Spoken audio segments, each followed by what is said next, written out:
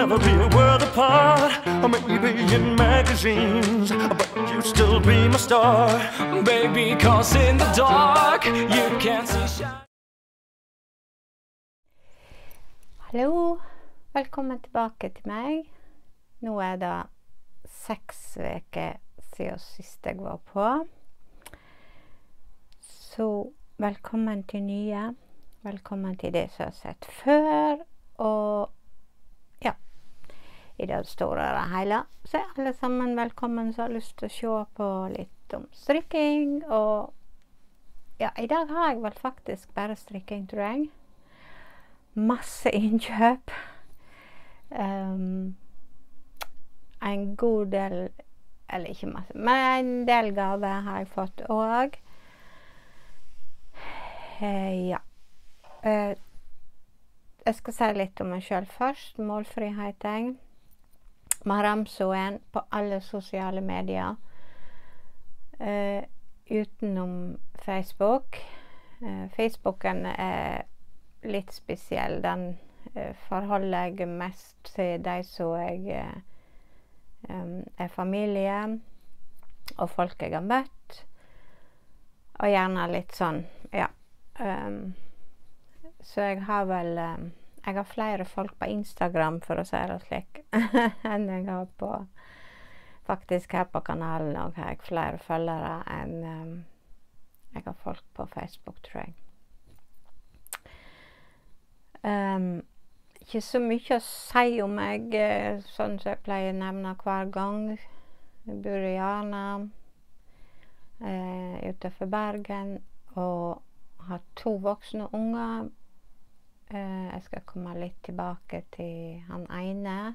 For av dere som har vært her før, så har jeg jo har vi jo hatt en uh, liten greie med han. Um, ja. Det er vel ikke så veldig mye mer å si. Er det noe du lurer på, um, eller noe sånt, så er det bare å ta kontakt med meg. Helst på Instagram. Den ser jeg vel først. Jeg er ikke så flink å være inne på det når det gjelder meldinger og sånn. Uh, men jeg får jo beskjed når det er noe nytt på det, eller i, om jeg har fått meldinger eller sånn, så jeg ser jo det òg. Um, ja. Utenom det så er det vel ikke så veldig mye å si. Men um, jeg vil jo si tusen, tusen takk til alle dere som ser på. Trofast hver gang kommer tilbake. Og alle de som er her for første gang, så må de gjerne komme tilbake. Det er veldig kjekt.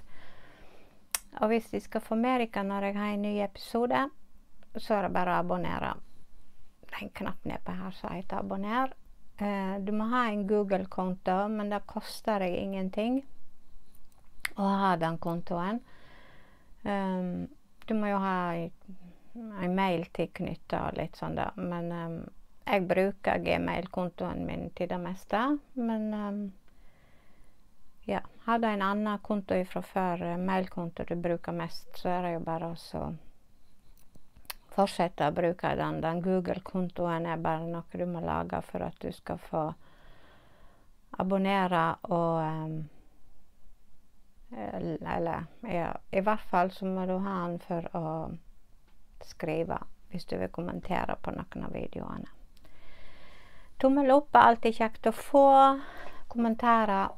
Elsker kommentarene. Jeg leser alle sammen. Jeg er ikke alltid at jeg er like flink å svare på alle, dessverre. Jeg prøver å legge et hjerte i hvert fall på alle. Eh, og prøver så godt jeg kan å svare på alle. Og det tror jeg jeg har klart denne gangen, i hvert fall fra forrige. Eh, forrige gang så snakket jeg om at jeg eh, Nå er jeg altså på episode 22. Og forrige gang så nevnte jeg på at jeg skulle ha en trekning fordi at jeg hadde hatt 20 episoder.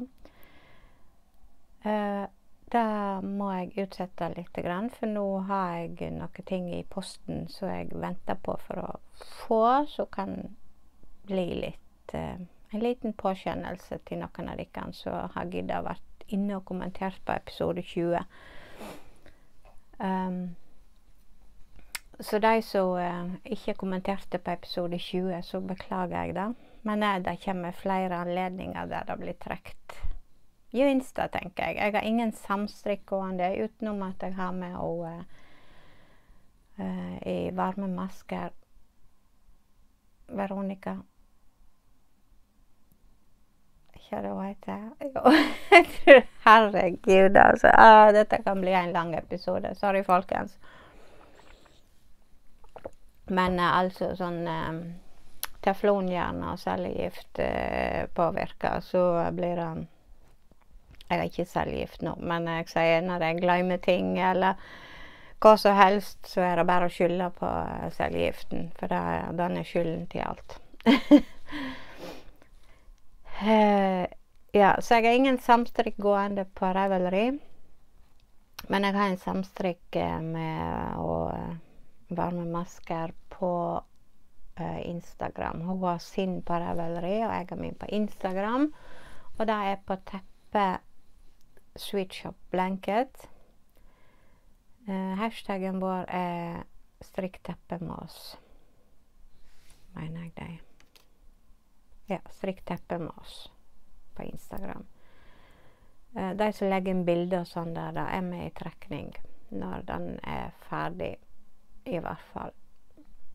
Um, Vibeke. Herregud, hun heter ikke Veronica, hun heter Vibeke. Sorry, Vibeke. Beklager så mye, men ja. Tefloncellegift gjerne er ikke bra. Jeg kan si litt uh, generelt uh, om livet eh, siden sist. Det går jo sin vante gang. Um, vi har malt. I går var jeg og henta stillaset. Uh, vi har skifta farge på huset. Og ja, det, det tok jo litt tid, fordi at været på Vestlandet er jo ikke alltid malevennlig.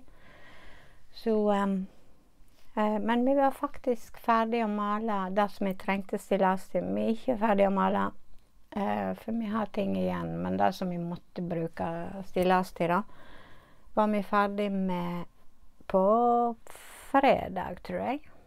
Ikke det? Jo, jeg tror det var fredag. Da malte jeg eh, siste rest.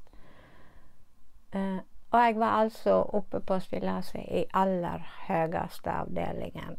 Oppe i, der oppe med loftsvinduet vårt. Det er ganske langt ned, så jeg. Jeg var og så på loftsvinduet etter at jeg hadde tatt stillaset ned og tenkte oh my god, har jeg vært her oppe liksom på stillaset? Men det gikk faktisk veldig, veldig fint, da. Så um, ja. Uh, det var maling. Han um, gutten som har vært så sjuk, han uh, går det stadig framover med. Han er på Nordåskomt.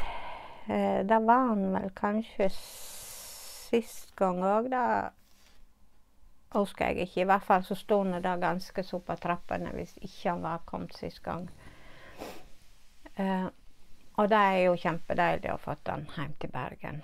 Jeg tror han var kommet sist gang jeg nevnte det. For jeg mener en del av kommentarene så hadde de skrevet at de syntes det var kjekt at han var kommet hjem. Og det er veldig, veldig kjekt. Og nå på lørdag så hadde vi altså besøk av han. Um,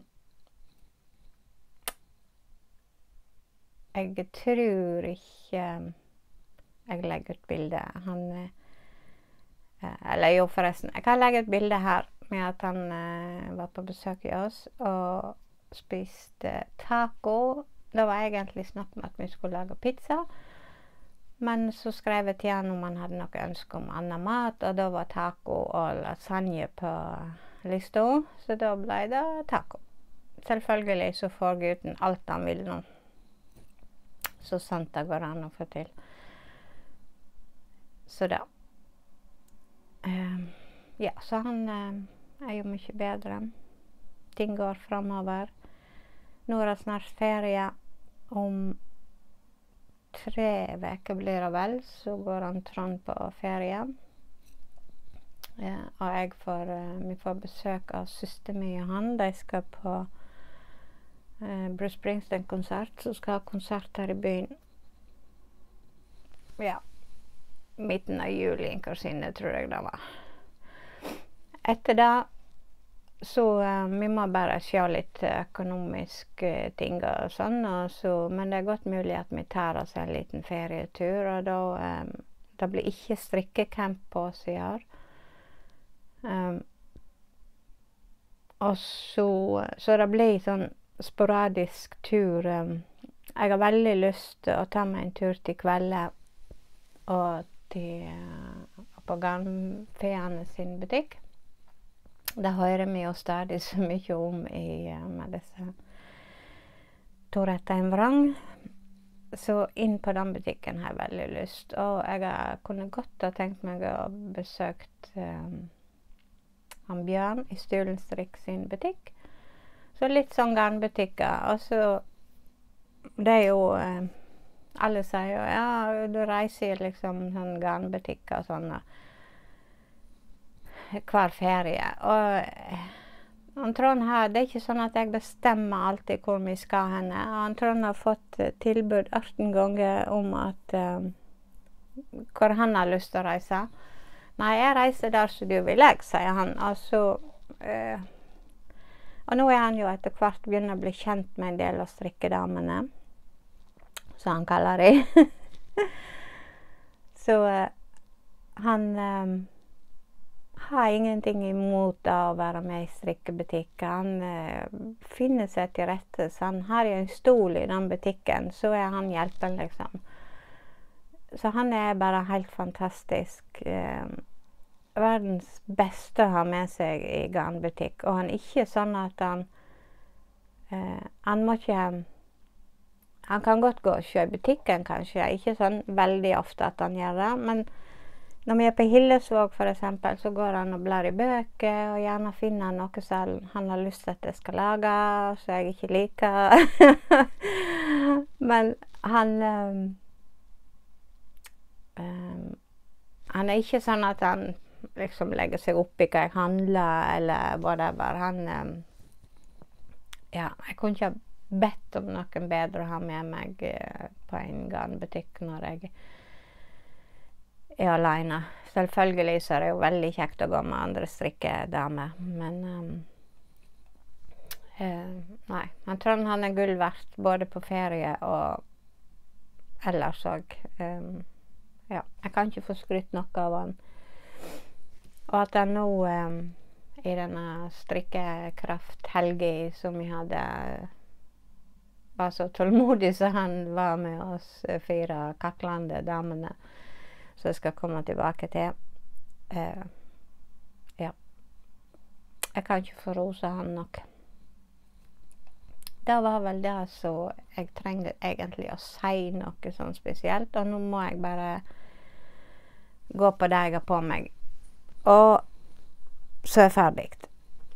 Det første jeg har på meg, er Moliné-jakke fra Lene Holme Samsø. Den er ifra boka her.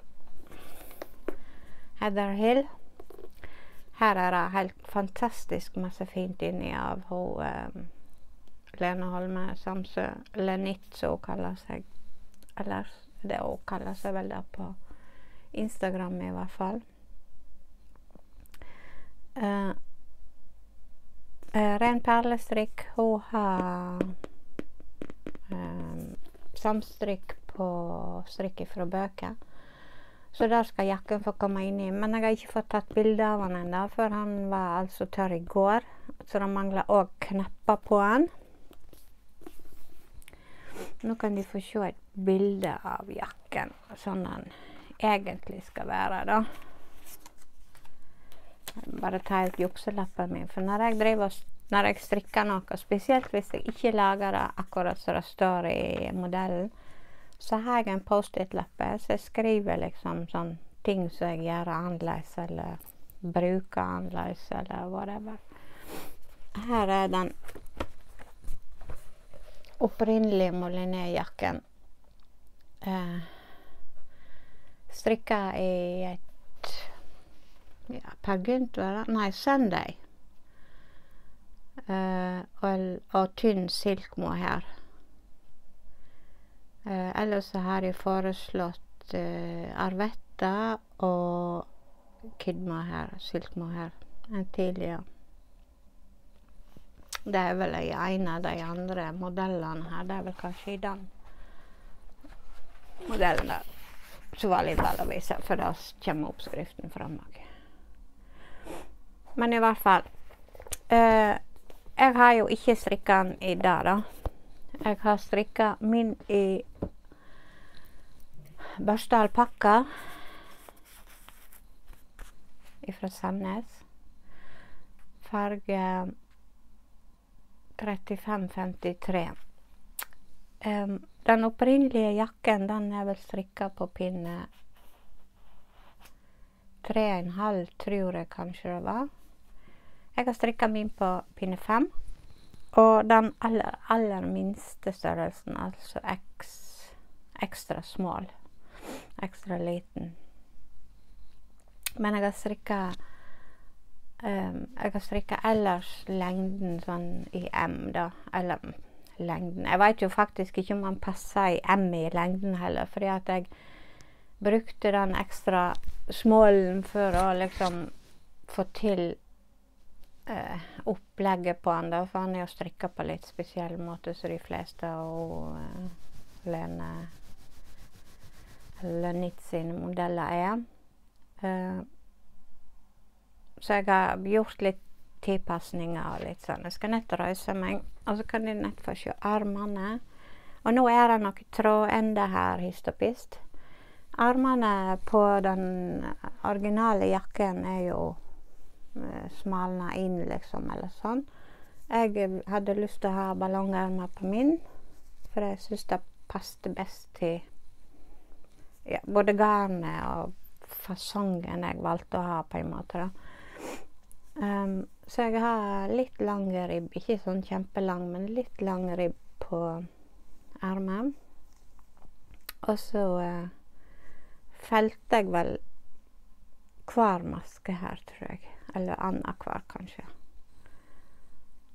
Um, ja, jeg tror jeg felte med hver maske, så å si. Ja. Det var et par plasser jeg hoppa over. Jeg hadde 42 masker på pinnen, tror jeg, og så gikk jeg ned til 32. Eh, bråtene har jeg strikka på fire. Pinne fire, tror jeg. Eller var det tre og en halv? Nei, 375 strikka jeg den på. Eh, vrangborden på den. Eh, det er ikke kommet knapper i den. Her skal være fire knapper her. Jeg skal gå litt til sides. Ta stolen min vekk litt, så de ser. Um, her skal være ja, fire knapper. Sannsynligvis så blir han jo ikke knapper så mye igjen, da. Men uh, så ser jeg her at jeg har fått en sånn uh, liten bulk opp her. Men det kan jeg, tror jeg sikkert lett ordne med. Og, og i hvert fall så blir det fint når jeg får knappen på.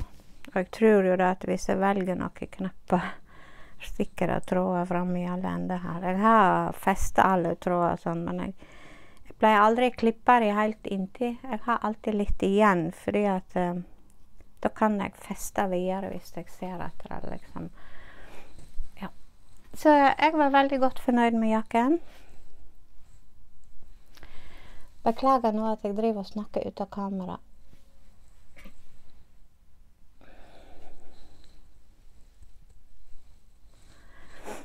Ja.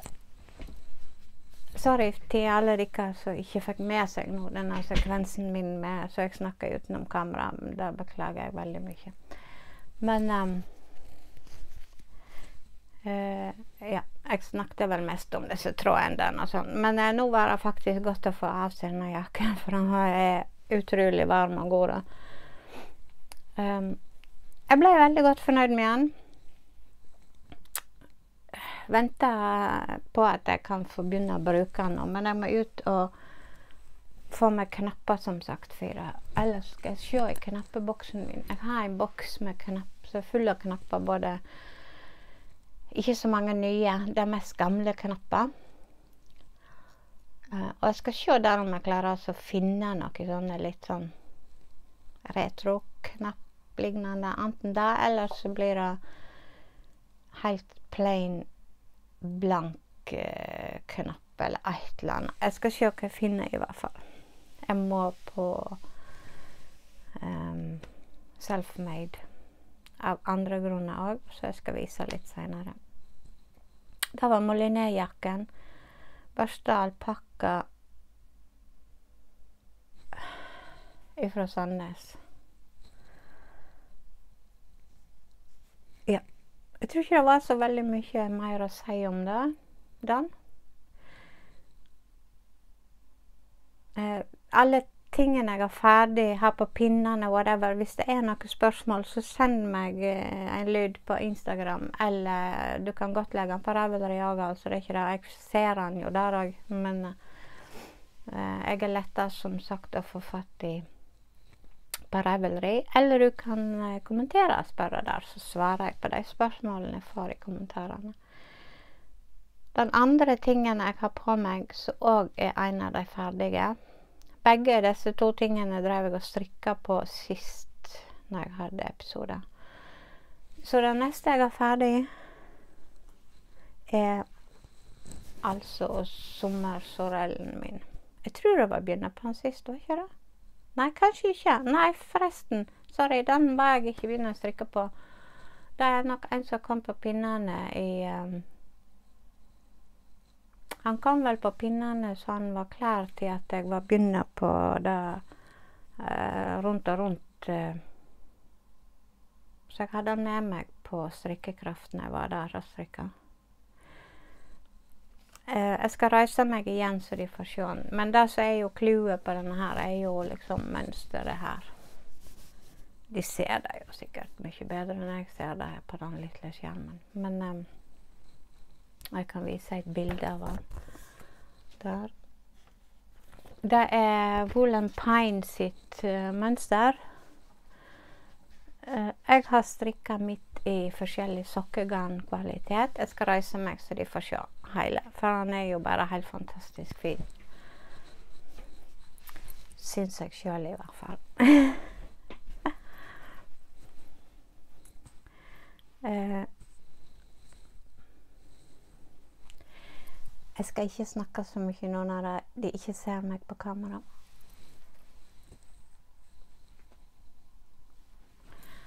Jeg skal heller ikke ta den av meg. Men altså, altså, jeg har feida min. Uh, det så de vel sikkert. Men de ser det jo her på arm, arme, armen min her òg, at jeg For jeg um, ble, var redd for at jeg fikk for lite av den midterste fargen. Uh, så jeg måtte ta litt grønt på armene. Og det syns jeg faktisk ikke gjorde noe som helst. Det ser jo ut som jeg har mer grønt på dette ermet, men uh, ermene er like lange, og, uh, så det er feidingen som faktisk har vært så tilfeldig at uh, Ja, da skal de få lov å se hvorfor den ble litt tilfeldig. Eller han var ikke tilfeldig. Den feida på samme måte og alt. Men um, det har med fargen på garn å gjøre. Altså håndfarga garn. Alle sammen er håndfarga garn. Den øverste er denne, og det er jo safransaks Bente som har farga. En helt uh, utrolig fin farge så masse Det er så masse farger. Og jeg har vaska den, han farger ikke av. Helt fantastisk. Uh, hun um, Det er på basen hennes som heter Lille Blå. Hun uh, farger jo ikke to identiske, Bente. Uh, så um, jeg kan ikke si deg hvilke farger det er. Eh, men jeg har hatt kontakt med Bente i forbindelse med en annen genser. Eh, det var Vilfreden min som jeg så, så ble jeg så begeistra for. Så jeg òg vil lage en sånn. Jeg vil akkurat sånn fargene som deg. Og da hadde jeg brukt uh, garn fra uh, Bente. Hun har helt fantastisk garn. Fantastiske farger. Uh, Ja, det er så Det er så masse farger på det, liksom. Jeg, jeg ble like imponert og, eh, hver gang jeg ser, og da skal de få se at jeg ble imponert nå på strikkekraft, da hun var jo der. Eh, så eh, den gangen på den villfredagen så tok jeg kontakt med Bente og spurte kan du prøve å farge opp igjen. Jeg hadde heldigvis et bilde av eh, garnet eh, i hespa. Så hun prøvde så godt hun kunne. Og det ble helt likt, så å si. det. Jeg veit ikke om hadde jeg holdt dem attmed hverandre, om jeg hadde sett så veldig stor forskjell. Så um, Bente du er fantastisk flink å farge. Eh, ja. Og dette har jo lege her. Jeg vet ikke, jeg husker ikke når jeg kjøpte dette hespet. Men uh, det har noe lege her på garnrommet. Og grunnen til at jeg ser sånn til høyre her, er fordi at uh, jeg har alt garnet mitt liggende her. Uh, men akkurat dette hespet her tror jeg faktisk har vært inni gyngehesten min. Jeg har Trond sin gamle gyngehest i stua, og den er full av garn.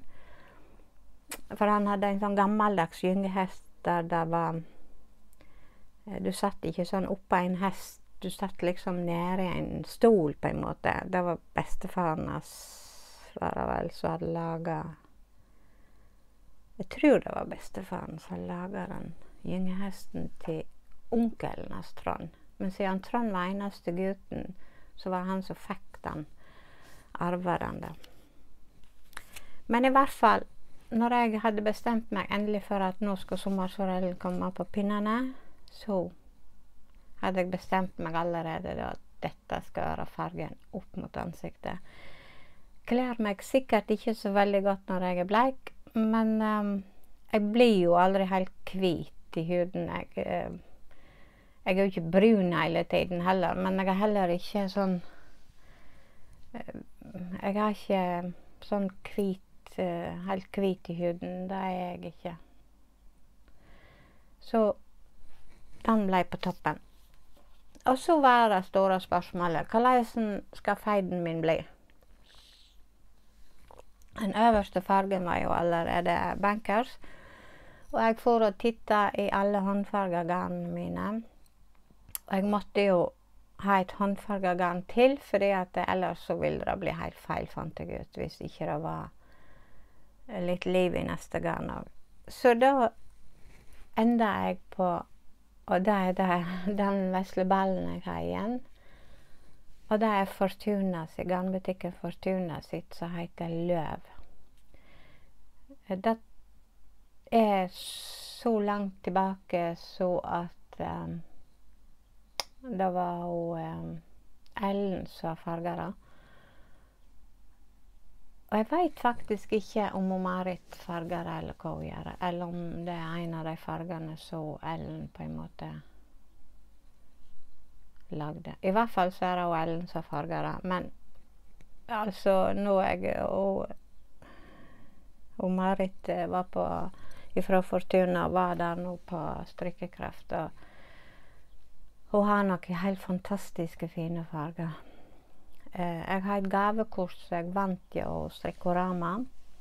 Anne, tusen takk for det. Eller, hun kunne ikke påvirke trekningen, da, men jeg vant i hvert fall et gavekort. Og skulle bruke det når jeg eh, var nå på strikkekraft.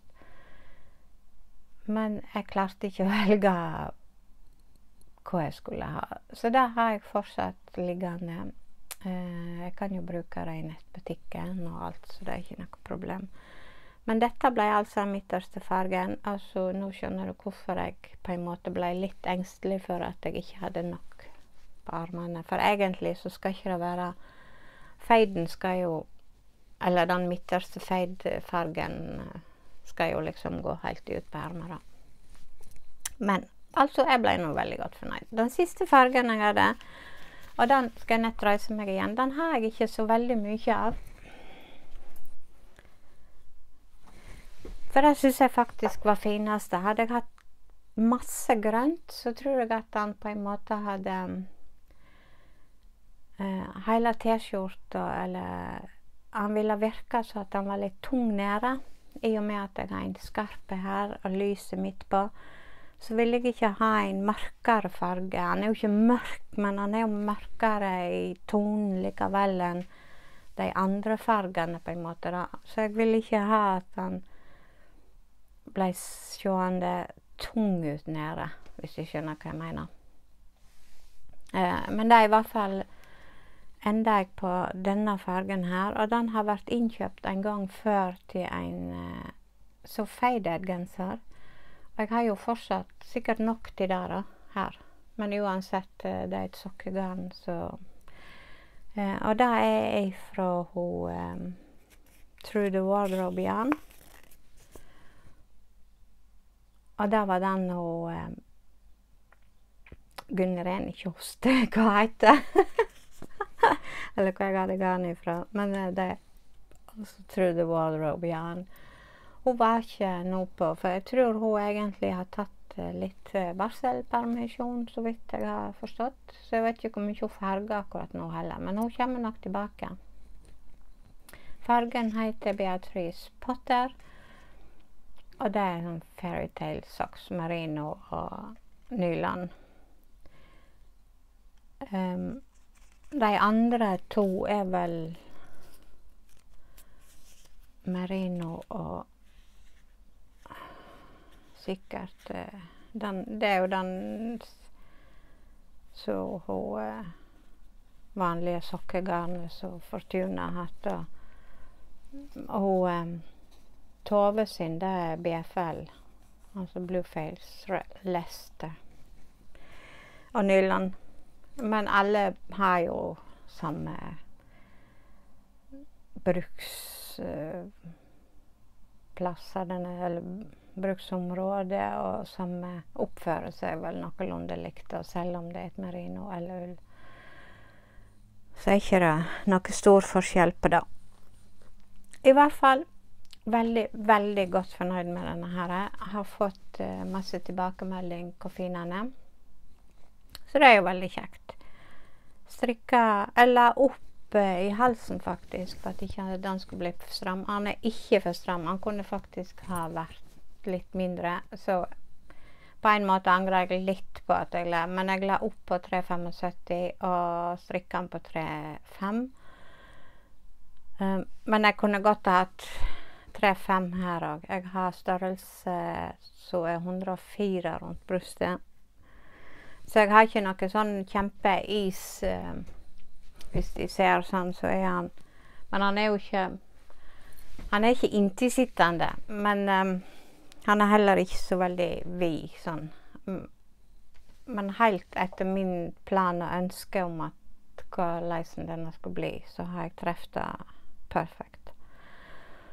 Litt kort, uh, og da vil jeg ha han. Jeg vil ikke ha sånn lang T-skjorte nedpå. Jeg skulle ha den sånn nedpå hoftekulene, og det er jeg nå. Ja. Nok om den. Jeg tror jeg har nevnt det jeg skulle si om den.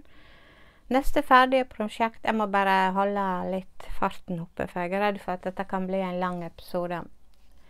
Det blir alltid litt sånn utenomprat.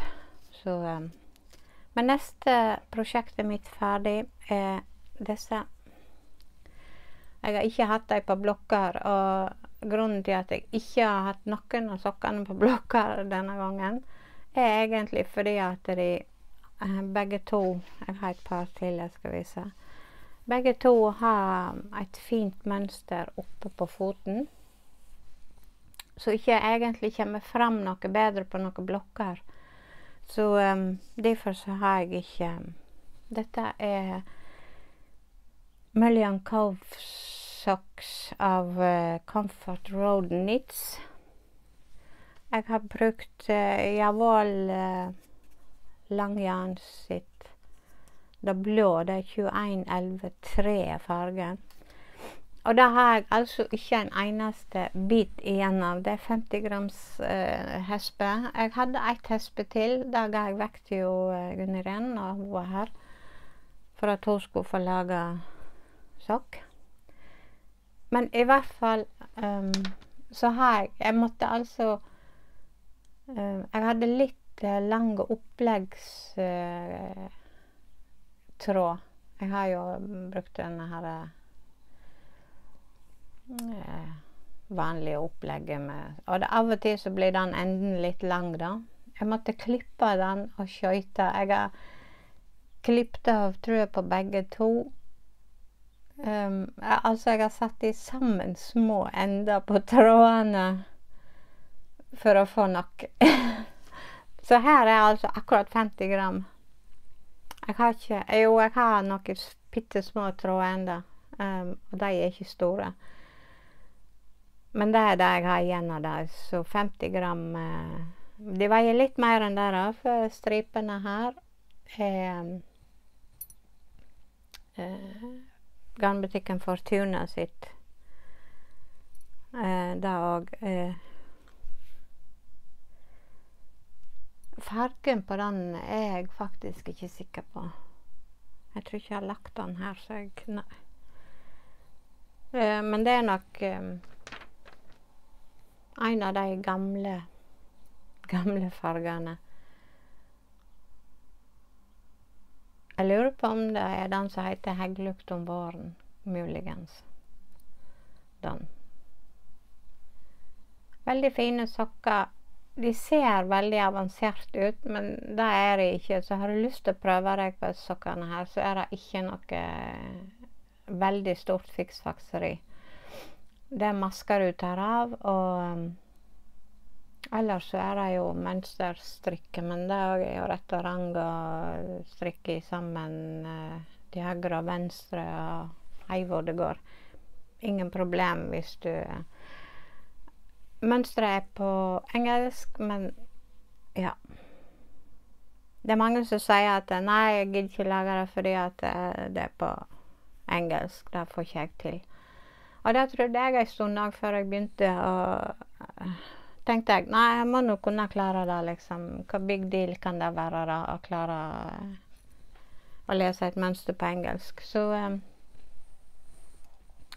Ramsøy tok mot til seg, og um, det er masse ordlister som ligger faktisk på nettet òg, så du kan laste ned og uh, Men når du liksom har strikka litt mer, så hvis du da går over til norske oppskrifter, så er det nesten sånn at du har lyst til å si den engelske tingen, fordi at det er sånn som slipp, slipp, nitt.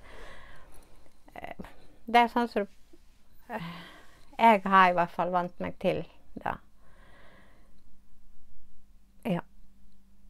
Noe annet å si om den pinne to og en halv? Jeg strikker stort sett alle sånne fine sokker på to og en halv, for det, det passer perfekt for meg, har jeg funnet ut, både med strikkefasthet og sånn. Må drikke litt innimellom igjen. Og så er det jo Nei, jeg kan ta det andre sokkeparet først.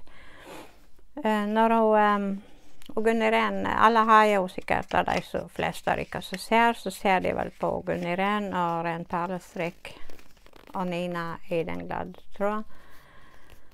Eh, de har jo fortalt utførlig om at de har vært her. Eh, bodde og meg eh, på når vi var på strikkekraft. Så Gunn Irén kom jo her onsdagen, og så sier hun at jeg har designet sokkepar mens på togturen ned. Altså jeg bare What? er du seriøs nå? Har du designet et sokkepar bare på toget, liksom? Ja, hun hadde gjort det. Enda så hadde hun snakka med noen japanere litt i Varsvåg. Men anyway, så sier man jeg trenger jo at noen teststrikker litt. Grann. Så da var jo bare å gå i uh, Vågom eller i Gyngehestenes strand og finne en tråd.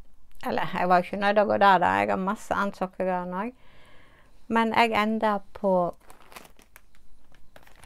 denne Nå ligger den inni posen. Kanskje jeg skal bare ta den ut. Jeg skal prøve å ikke skramle for mye, da. Og da er den. Syns det var en helt nydelig farge. Så var jeg litt redd for at uh, veldig ofte når det er sånn, sånne sjatteringer i garnet, så kan de ofte bli I og med det var et uh, lace-mønster på sokken, så er jeg redd for at det kunne bli litt urolig. Men det ble det ikke. Og det er òg True the Wardrobe Yarn sitt garn. Det heter Frog Princess. Nei, Frog Prince. Og sokken, da, ikke minst. Sommersøt av hun Gunnirén Simensen. Gunnis englestrikk er hun vel på Ravelry, tror jeg. Anyway. Søker du på Gunniren Simensen, så finner du henne på Ravelry. Eh, de har dette skjønne, skjønne mønsteret oppå sokken. Og det er jo den uh, girlandermønsteret. Og her oppe i kanten er det girlandemønster. Og der, det gjør at sokken liksom får sånn Nesten som sånn blondekant, på en måte. Det mønsteret Ågunn Irena laga her, var bare helt genialt, altså. Å ha diamantmønster på en måte på hælen, men da, den, akkurat den syns jeg ble litt vekke i um, her ser du det jo litt, grann, der det er litt lyst av diamantmønster. Men ellers ble akkurat da litt vekke i det mønsteret. Nei, det med det garnet her, da. Men ellers så syns jeg at det, det viste greit mønsteret, fordi at det på en måte ble litt sånn striper i garnet som passet fint på. Så jeg ble veldig godt fornøyd med sokkene. De ble ferdige på strikkekraft. Blokker og alt. Tørre og fine. Så hadde de med seg Nei, ikke begge. Bare den ene, kanskje. Jeg hadde kanskje bare én sokk ferdig. Tror det, gjerne. Ja. Anyway, hun hadde de i hvert fall med seg på strikkekraft. Mønsteret hadde jeg her. Sommersøt heter sokken. Veldig kjapp å strikke, egentlig. Ikke vanskelig mønster. Og mønsteret er veldig godt skrevet når vi til slutt ble helt enige. Eh, hun har skrevet 2,25 i pinne. Jeg brukte altså 2,5 på mine. Og de passer helt perfekt til meg til 38. Men de kommer nok til å komme i gavekassen, tenker jeg med Det samme blir det med de eh, andre sokkene mine òg, så jeg hadde ferdige. Kommer nok til å komme i gavekassen. Ja, ikke så mye mer å si om dem, kanskje. Jeg har sagt uh, hva garnet brukte, og visste om. Ja, tror det. Mønsteret var jo uh, fikk hun jo Trond til å trykke på Trond jobba på et trykkeri, Æratrykk, heter de. Uh, og jeg har, det er der jeg er og jobber innimellom hvis jeg føler for det. Han trenger hjelp uh, til ting. Så er jeg ute der og jobber innimellom. Um, og um, jeg sendte mønsteret det var, det var, dette var fredag før uh, strikkekraften. Vi skulle ut på uh, Hillesvåg og ha podkasttreff. Så jeg skal komme tilbake til. Og så sier Gunn Irene at det, hadde vært, kjekt å ha med uh, mønster, så de kunne få alle podderne når de kom der. Jeg veit ikke hva klokka var når vi sendte ferdig tillaga trykk eller til trykk, da, PDF-fil ut på trykkeriet. Og jammen fikk Kari trykt opp 50 eksemplar, tror jeg det var.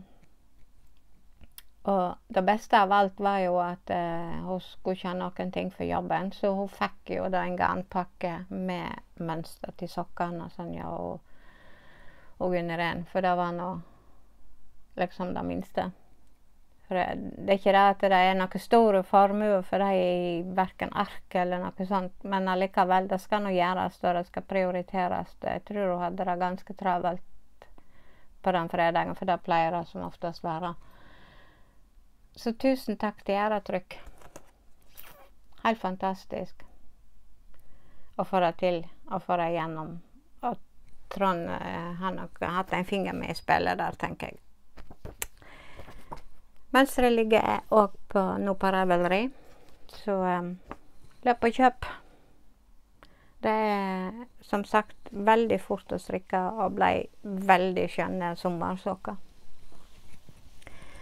Eller vintersokker. Du kan selvfølgelig lage bråter lenger, sikkert. Og så Det er jo ikke noe problem å forlenge den. Men uh, det var liksom Hele fasongen med den blondekanten og sånn ble veldig lekker når han var uh, i ankelsokker. Ja. Videre løper videre. Uh, neste lapp i lappestafetten Lappestafetten kommer jeg ikke til å si så veldig mye om, at nå håper jeg at de fleste har fått det med seg. Og jeg ser jo da at det er mange lapper ute og går. Så, men uh, lappestafetten, sånn basic, kort fortalt Alle podkastere som vil være med, designe sin egen lapp. Uh, legg den på si side på Revelry ferdig tråd. Men mønsteret vil komme av Gunn Irén i Gunnis englestrikk. Um, og det er gratis mønster, selvfølgelig, så alle skal få lov å være med. Her er min lapp for denne måneden, juni. Det var ikke så veldig godt å se. Det er jo Hulderhilde i Hulderhildes håndarbeidshule, så er utrolig uh, lett uh, ruller på tunga. Ingen problem med det. Men ja, hun har designa denne lappen. Han heter Sjakk den lappen, og det er jo fordi at det eh, er sjakkruter på lappen, da. Det er sjakkruter Her er det små sjakkruter. Nå snakker jeg bakom, det skal jeg jo ikke. Det er små sjakkruter, og så er det store sjakkruter. Du kan brodere i disse her hvis du ville. Det har ikke jeg gjort. Eh, jeg har en plan om å lage teppe. Eh, og jeg har hatt en samling med Tove, eller har jo fortsatt samlinger med Tove, men nå har jeg begynt å bruke på den. Eh, jeg um, skal strikke alle lappene i Tove-garn.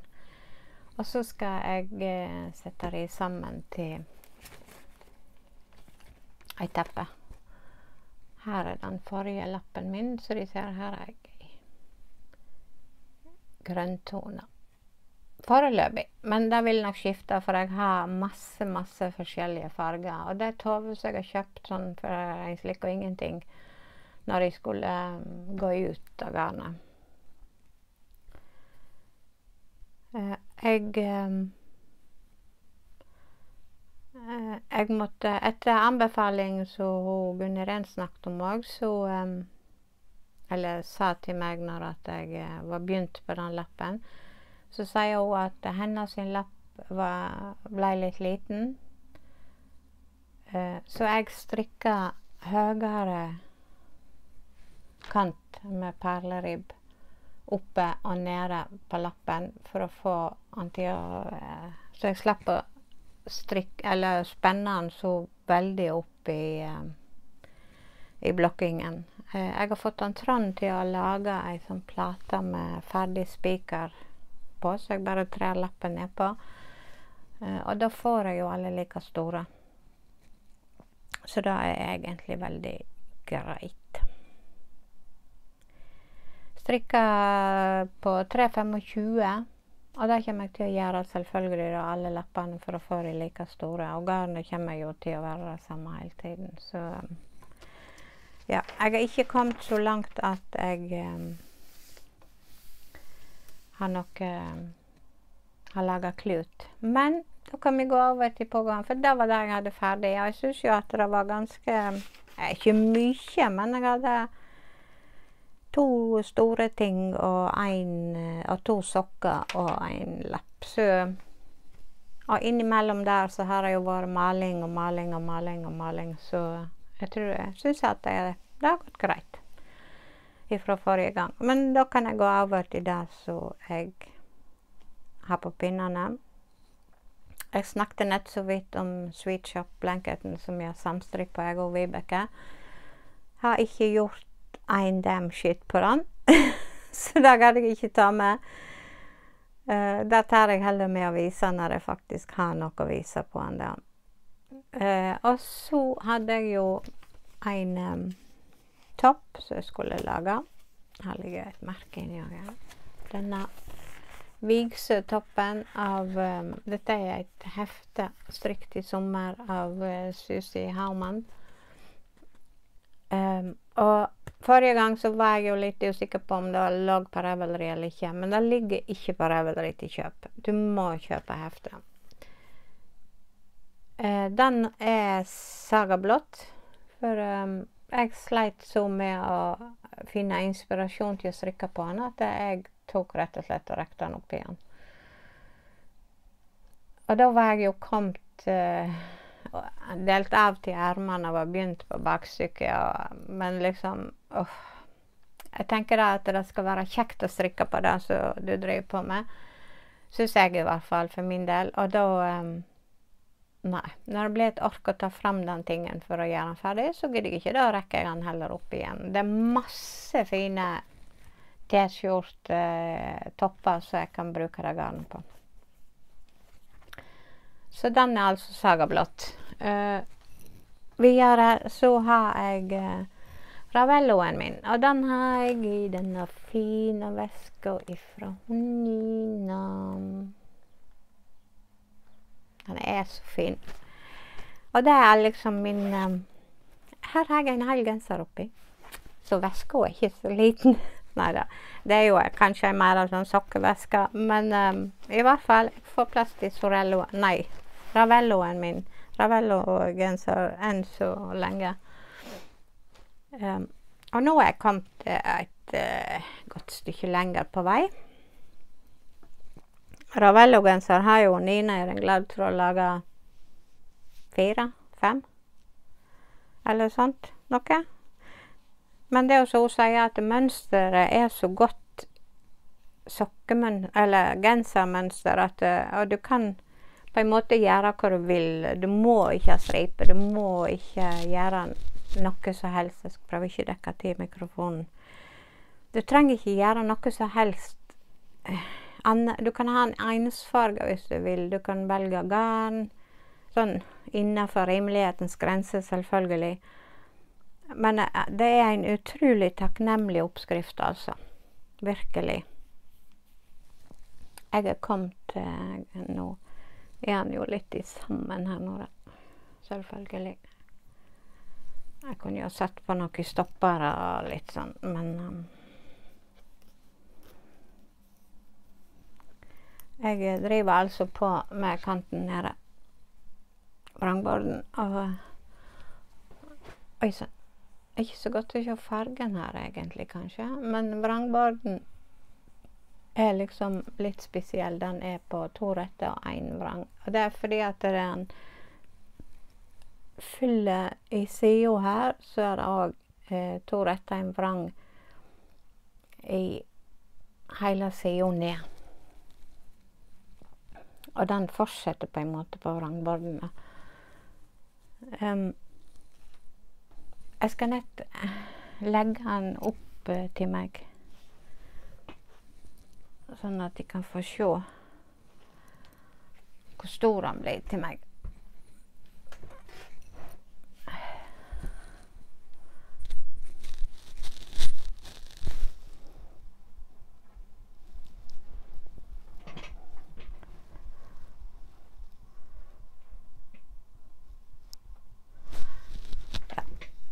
Sånn lengde blir det på den.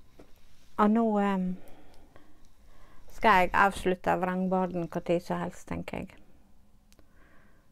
Eh, dette har vært en sånn bilstrikk-ting, så han har ikke vokst noe sånn veldig fort. Men nå har jeg hatt han med meg òg når jeg har vært oppe og besøkt han Jon Arve på Nordås.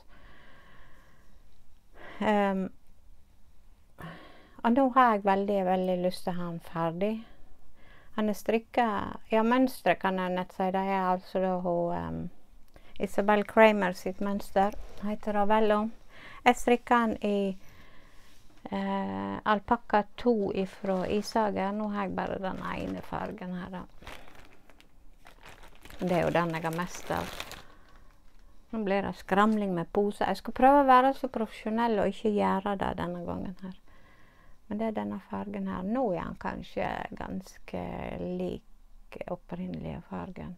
Han er litt sånn lys Ikke lys mint heller, kanskje. Jeg vet ikke, jeg vet ikke helt hva jeg skal forklare. Fargen heter vel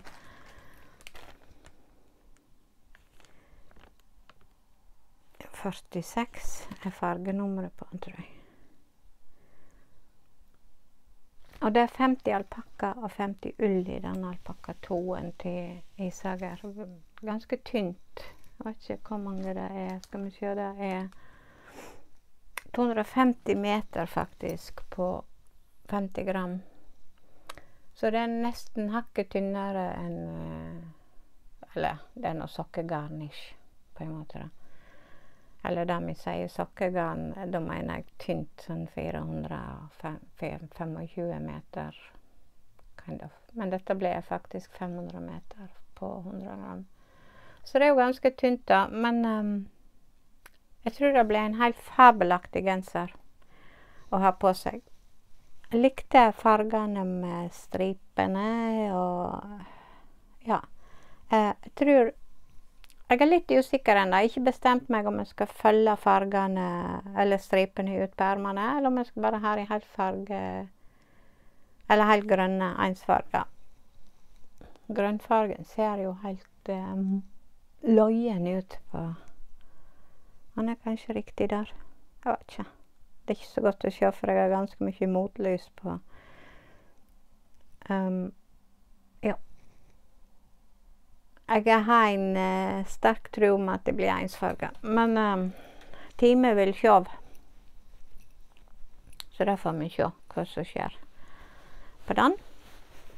Da var ravelloen strikka på pinne tre og en halv, tenker jeg.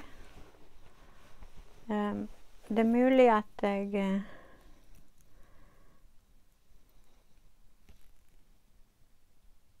Tre og en halv, ja. Og jeg tror jeg har tre på vrangborden, faktisk. Ja, tre på vrangborden. Og det blir jo ikke noe tunge gensere. Jeg vil tippe at 150 gram kanskje når han er ferdig. Gjerne noe sånt. Ja, det var ravelloen. Um, har jeg noe mer pågående? Ja, det hadde jeg. Men hvor har jeg gjort av det hen, da? What?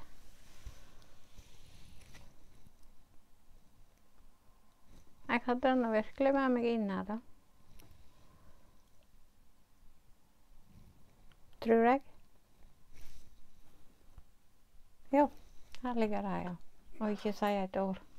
Du kunne ha sagt ifra at du var her. jeg begynner på en uh, klut i uh, den englestrikk, eller englekluten, eller den første kluten jeg begynner på i bomullsgarn. Jeg tror, eller det er bomullsgarn. Jeg er ikke noe veldig glad i å strikke bomullsgarn, men jeg tenkte jeg kan prøve å lage noen kluter, og så um,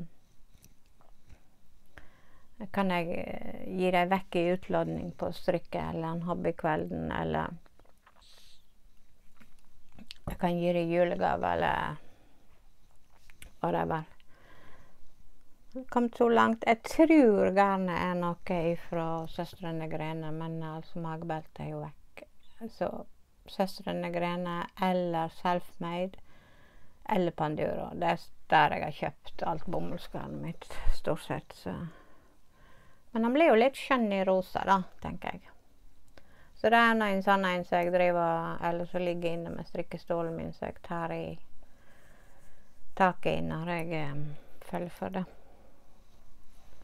Det var vel det jeg hadde på pinnene, tenker jeg. Eh, planer Jeg har én veldig sikker plan.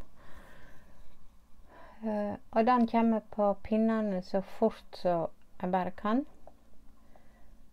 Uh, men mønsteret kommer ikke før på lørdag. Jeg har vært i kontakt med designer. Han er teststrikka og alt, og skulle vært kommet nå på lørdag, så var tror jeg. Men uh, grunn av at det var noe greier med en av teststrikkerne, hva feil var, som var gjort, så um, ble han utsatt til nå lørdag. Men han kommer altså da nå på lørdag. Og det er Art Nouveau-sweater av hun uh, Helen uh, Det har ikke jeg skrevet opp. Oh my god, er det mulig? Um, ja, det var denne teflonhjernen, da, folkens.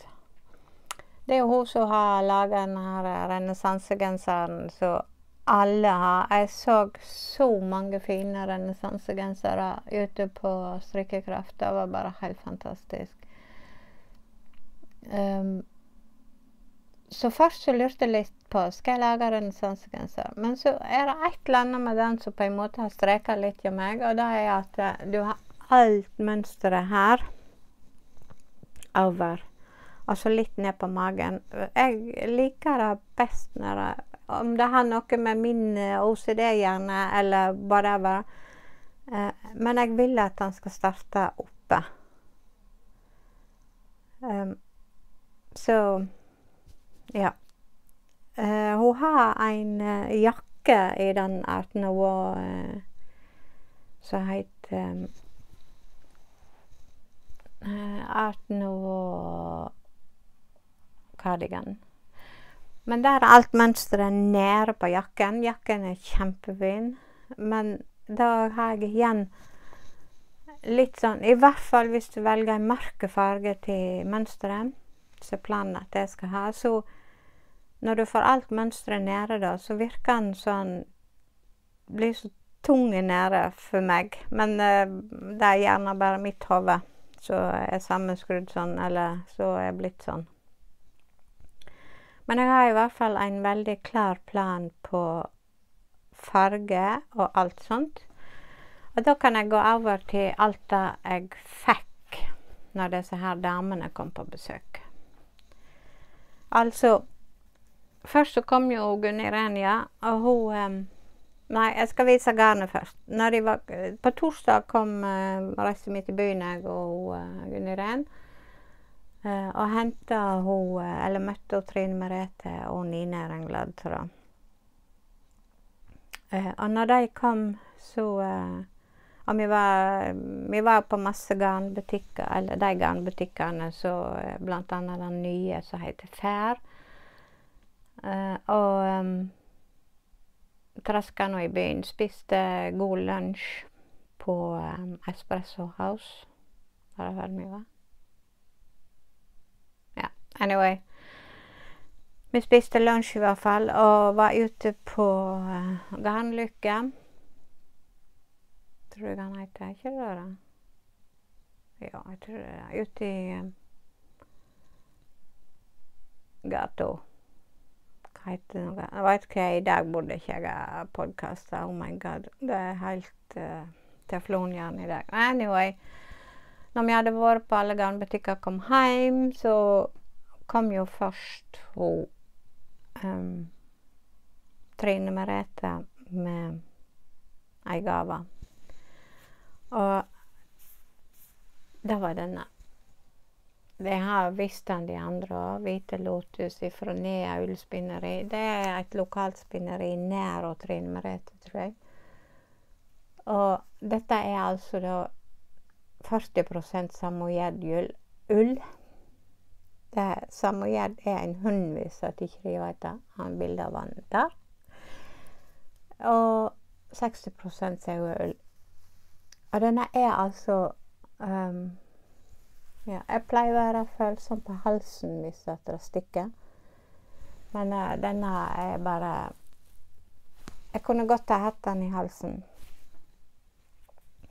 Uh, det er 25 gram Nei, 50 gram. Det er 90 meter, så det er jo ikke sånn veldig langt. Det er litt tjukt. Pinne tre og fire står anbefalt. Um, og jeg har et uh, hespe med, med grått Hvis jeg går nett ut av bildet her, så skal jeg vise dere. Med Stormdal ull. Her er 153 på 60 eh, gram. Nei, på 100 gram. Så det er jo litt grann tjukkere, kanskje. Men um, det er ikke noe big difference på dem, på en måte. Så eh, med denne, eller kanskje noe annet Oi, beklager at jeg driver og fer inn og ut av bildet her, men uh, jeg har en liten mistanke om at det kanskje kan bli votter. Eller ei lue. Jeg har, har lenge tenkt på at jeg skal lage meg ei lue med, med, med, med, med flette på. Så um, time vel sjøl. Men den fikk vi altså hver sitt hespe og veit du, tre, snille, snille, snille Trine Merete. Um, og så fikk vi sjokolade. Det glasset har jeg ikke lenger med sjokolade. Det var et sånt uh, sånn size cirka. Ligner på lakris, Bulov sin lakris, uh, men det var ikke det. Det var et annet merke. Eh, og siden jeg ikke skal spise sukker helst, så eh, fikk han Trond det. Og det tror jeg han likte, for jeg tror det er vekke, så vidt jeg vet. Så er det tomt. ja. Så da fikk jeg meg altså Jo, Trine Merete. Og så kom de òg begge to, eller alle tre, fire, alle tre. kan ikke regne engang. Alle tre hadde gått sammen om en pakke til meg. Og det var denne fine strikkeveska. Dette er søstrene Grene. Men eh, han er sånn eh, Han er sånn fora. Det er ikke sånn tynne, slafsete pose. Jeg har mange sånne strikkenett som bevarer meg. Funker helt eh, fantastisk flott. altså. Det er ingenting i veien for det lomma inni. Um, ganske lange bærehanker på den, så jeg syns uh, Så jeg har brukt den til håndveska nå. Hatt strikk oppi, penger, telefon Ja. Når jeg har vært sånn på sykebesøk i Jon Arve, eller Ja, vært ute og handla òg, egentlig. Så har jeg hatt denne med meg. Helt genial. Og ikke nok med det. Oppi der så lå det jo da fire hesper. Altså fire hesper ifra Lille Rille. I den mest nydelige farge du kan tenke deg. Altså fire hesper. Skjønner du, disse damene er jo ikke helt riktig rett seg. Altså, det er jo bare en glede å ha dem på besøk, så uh, Enda så har de da betalte de for bensin. Eh, ja, jeg måtte låne bilen hos svigerforeldre for å ha til å kjøre på eh, Nei, på strikkekraft. Det skal jeg komme tilbake til. Men altså Hæ? Og dette skal bli min Art noe genser. Og den skal da strikkes sammen med, den har jeg vært og funnet eh, Det er en jeg hadde fra før, som var eh, Stulenstrikk sitt. Eh, så jeg regner jo med Jeg har jo kanskje til to gensere. Jeg, for Lille Rille sitt eh, garn, så er det eh, Det er 100 gram, og det er 420 meter. 75 merino, 25 nyland. Um, så um, jeg regner jo med at jeg ikke er langt vekke på at jeg har en genser her. For den er ikke si, tror jeg, den genseren. Og så er det jo korte ermer på den. Uh, eller jeg har i hvert fall tenkt at det skal korte ermer. Jeg får se litt. Grann. Men anyway, jeg har jo fått fire nøster, så jeg har jo rikelig. Og den skal jeg da sette sammen med svartsyr ifra Stulenstrikk er planen min, og den tror jeg ikke det blir endra på hvis ikke det er noe veldig spesielt som dukker opp. Men det syns jeg var altså bare helt fantastisk i sammen. Um, ja. Den, de som har sett renessansegenseren, så vet de hva det går i. Det masse mønster. Men som sagt så begynner den oppe her, og det går utover um, det er ikke mye men Jeg vet ikke hvorfor, men jeg er ikke så veldig glad i når mønsteret kommer veldig langt nedom puppene. Jeg vet ikke hva som gjør det, egentlig, men um, ja. Den gleder jeg meg altså vilt til å legge opp på pinnene. Så Trine Merete, Nina Gunniren, altså Jeg vet ikke hva jeg skal si. Um, Tusen, tusen takk. Det er bare altfor mye. Eh, de er så eh, gavmilde at um, Ja. Og så og, uh, skjønne, skjønne Gunni Renne hun kom, så hadde jo hun med seg uh, lite grann. Hun hadde altså da sydd ei veske til meg. Og den matcha Jeg kjøpte jo veske eller i den Christmas Surprise. Hæ? Er det match, eller? det er definitivt match. Det er ikke helt samme brunfargen på dem. Men altså uh, Ja. Den oransje og uh, Helt midt i min bane. Og oppi, um, oppi der så lå det en pose med sånne. Tutter til å stoppe eller ha på pinnene. De får du jo aldri noe av. Jeg, jeg, har ikke, jeg har en del, men ikke sånn kjempemange. da. Men de jeg har, de leter jeg av og til etter, eller er opptatt på pinner. Så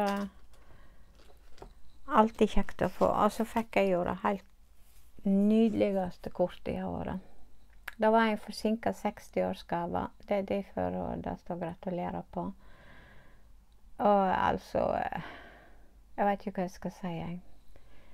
Uh, hun har, hadde skrevet fint inni her, men det er litt til meg. Så det deler jeg ikke med dere.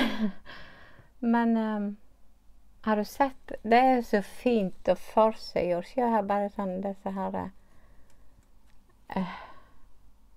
ja, så det står på strikkebordet mitt. For jeg syns det var bare helt utrolig lekkert og fint.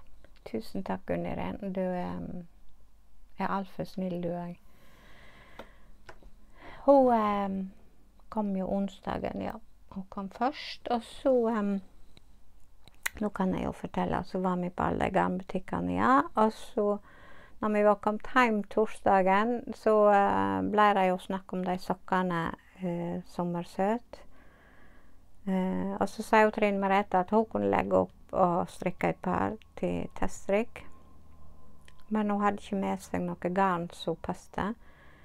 Så da snakket jeg til Trine Lise i Lykkegarn om vi kunne få lov å komme bort. Hun bor rett over veien for meg. Og eh, jeg vet ikke hva klokka var, sikkert åtte-ni-ish om kvelden. Men hun sier ja, jeg må ikke kjøpe på rotet, men det er bare å komme. Hun hadde, det var bare å komme, hun var på garnrommet. Så vi reiste bort. Eh, da hadde hun pakka ned ganske mye fordi at hun skulle sende til Trondheim på eh, en stand som hun skulle ha der oppe helga etterpå. Så hun hadde ikke så veldig mye av garn. Men likevel så fant jo eh, både Trine Merete og Nina litt å handle. Så jeg har visst på podden sin, hvis du har sett på dem. Og da, hvis ikke du har sett på dem, så må du inn og se på dem. Eh, det var vel det som jeg egentlig fikk i gave, eller Ja, så eh, var vi jo eh, på fredagen, så eh, var det podkasttreff på Hillesvåg. Men først så hadde vi oss en liten snartur opp på Janussen. Uh, Janussen òg er jo sånn jeg vet ikke 100, men nei, litt mer enn 100 meter. Jeg går dit på fem-seks minutter, noe sånt kanskje. Uh, og um, så var det vel hun Gunn Ren som snakket med hun Bente på meldinga eller Snap eller whatever. Og så sier jo Bente at ja, det hadde vært på Janussen. Og det var vel torsdagen, faktisk. Og så bare Nei! Herregud. Det var liksom sånn bare noen få meter ifra oss, da. Um, men de hadde jo vært tidligere på dagen. Jeg tror det var torsdagen, så dessverre så hadde vi jo ikke vært hjemme. Men um, det hadde jo vært veldig kjekt å ha besøk av Bente og den gjengen hennes. Um, men eh, vi får ta det en annen gang, for jeg håper å bli At det kan bør seg en innledning. Eh, så var det podkast-treff, ja, Eh, ute på Hillesvåg. Jeg har ikke tatt et eneste bilde, verken ifra Strikkekraft eller podkast-treffet eller Hillesvåg. Jeg beklager så mye. Uh, men um, jeg regner jo òg med at uh, det har blitt filmer og bilder og masse ifra alt. Ellers så har jeg prøvd å være flink og tatt bilde av um, både stands og alt sånt. Men jeg var litt opptatt òg på uh, strikkekraften, så um, Men podkasttreffet var utrolig kjekt ute på Hillesvåg. Um, han Øyvind uh, viste oss rundt og hadde uh, Ja, så vi fikk uh, se fabrikk. Jeg har jo vært på omvisning før, så det var jo ikke noe spektakulært nytt for min del sånn da. Men um, vi fikk se og kjenne på det nye sokkegarnet deres som ble lansert i august. Veldig spennende. Det gleder jeg meg til. Um, ja. Og så hadde jo han uh, Eivind òg fiksa bobler til oss og litt sånn diverse. Vi fikk et handlenett òg uh, der ute, så det står Hillesvåg på. Det ligger oppi hylla mi her. Det er ikke så nøye, egentlig. Jeg tror hun eh, Nina viste det vel gjerne fram. Eller hun eh, Trine Merete. Det var ingen av de som viste det fram, i hvert fall. Det er et plaint, plaint nett, og det står Hillesvåg og logoen deres på. Så. Men tusen takk likevel eh, for det. Eh, og tusen takk til Hillesvåg for at de ville ta imot oss, da. Hun Anne i bak strikkefasaden, hvis ikke de ser på podden hennes, så må de gjøre det. Hun um, kommer nok sikkert til å snakke ganske mye om det podkasttreffet òg. Men uh, det var hun som var litt primus motor for å få det i gang. Uh, og har gjort en helt fantastisk jobb. Så tusen takk, Anne og Line, som var med på det. Og alle de andre òg som hjalp uh, Anne med det. Um, og nå er det Anne Asphaug jeg snakker om, ikke Anne Bjørke. det er to Anne her som vi måler fra hverandre. Uh, men der er det altså det baka kaker òg, og uh, det var quiz. Um, ja, så det var utrolig kjekt. Uh, der vi traff masse podkastere som jeg gleder meg til å få hilse på. Og dessverre så ble det ikke tid til å snakke med alle. Men uh, de jeg både hilste på og prata litt med, er utrolig kjekt. Så jeg håper jo at jeg får anledning til å være med på flere podkasttreff. Det var um, veldig koselig.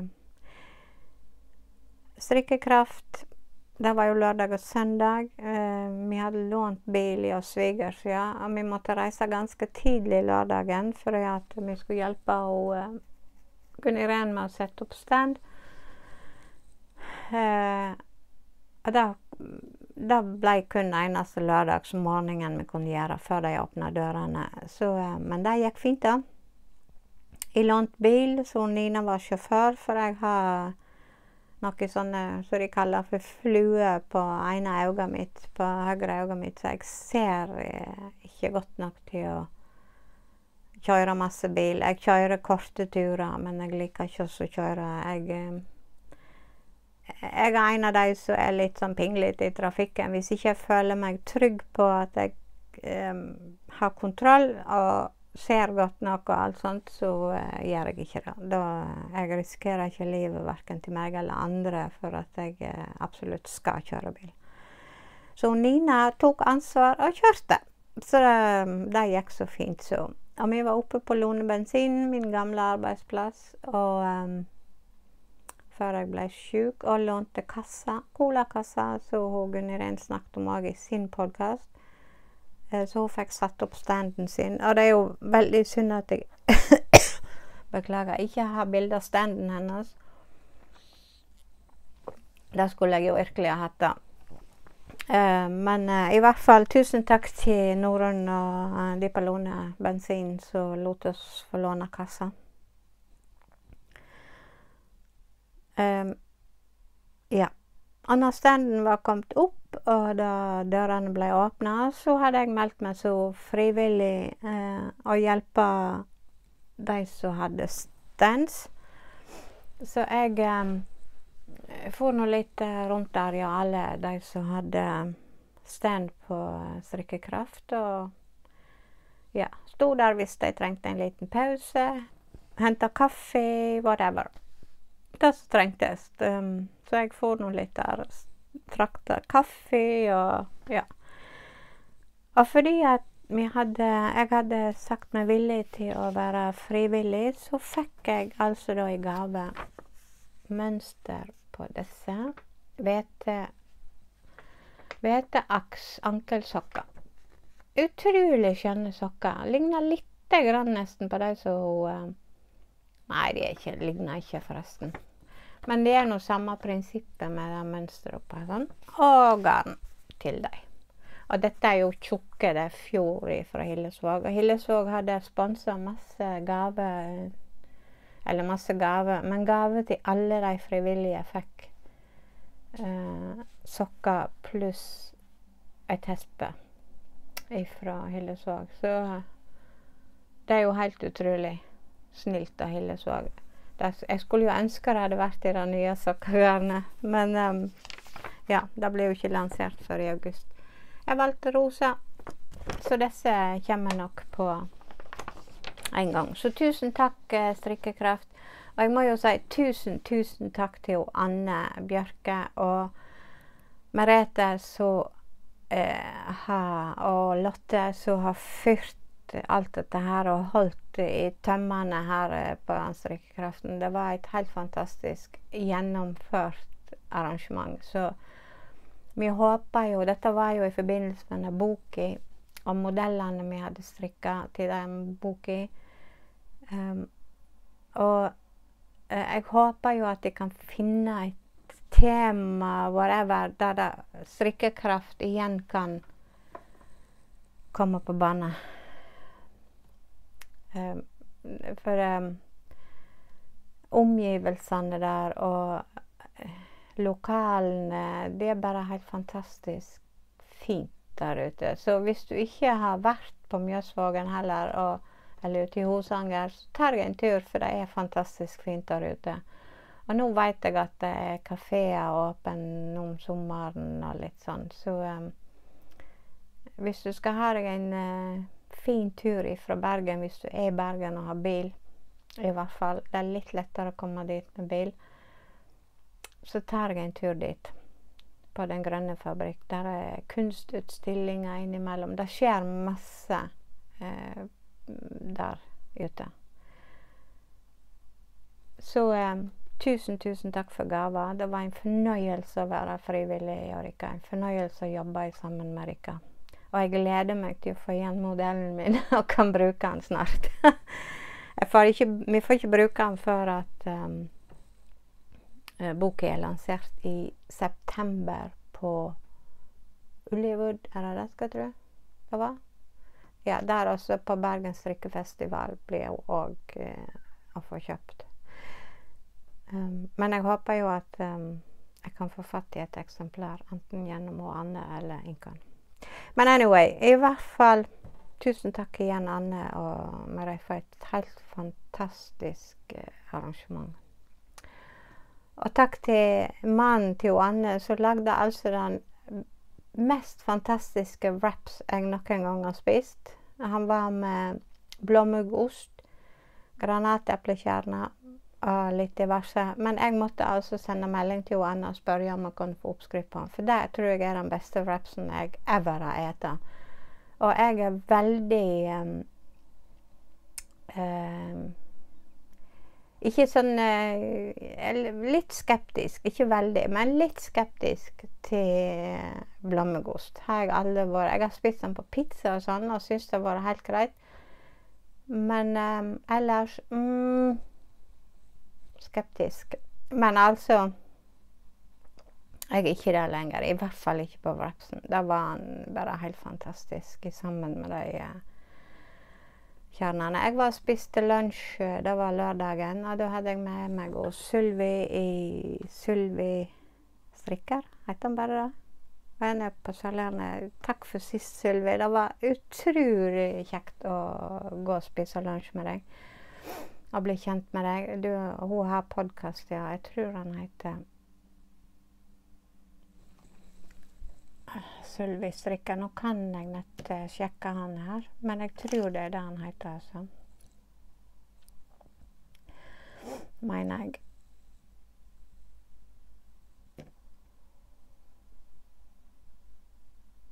Nei, anyway. Uh, hvis jeg søker på eh, Oi sann. På Sylvi, så tror jeg at de finner den.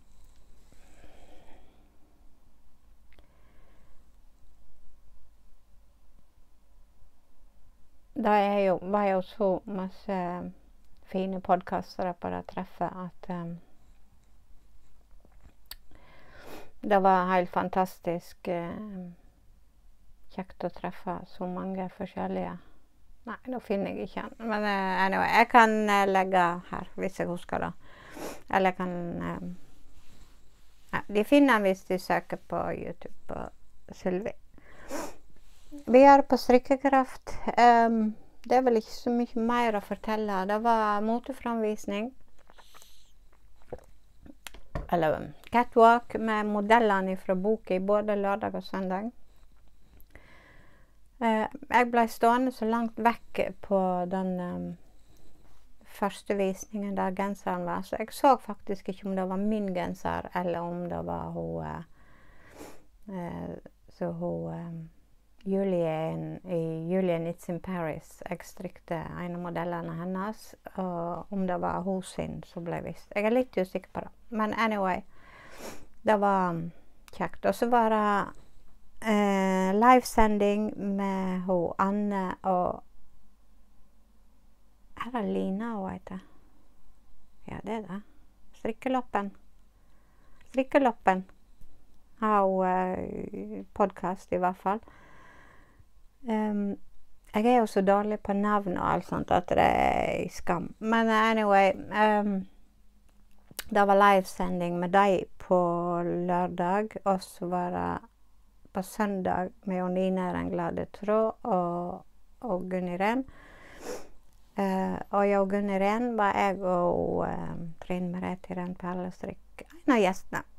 Så inn og se på de direktesendingene. De ligger under hver enkelt sin podkast, men du må gå inn på den som heter Direkte, istedenfor videoene bare. Så finner du dem. Har du problemer med å finne reise og gi oss en lyd, så hjelper vi deg med det. Men det var veldig kjekt å se. Der var det snakk med en del av utstillerne og eh, arrangørene. oh, sorry blir Nå har jeg prata altfor lenge. En og en halv time. Hallo?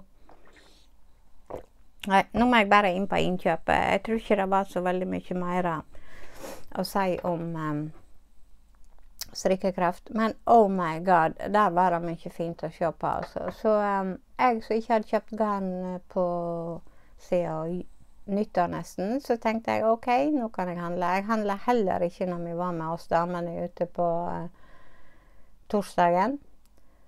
Uh, fordi at jeg skulle handle på Men jeg begynte jo fredagen, da. Uh, nei, onsdagen begynte jeg å handle, forresten. For da datt jeg litt utpå.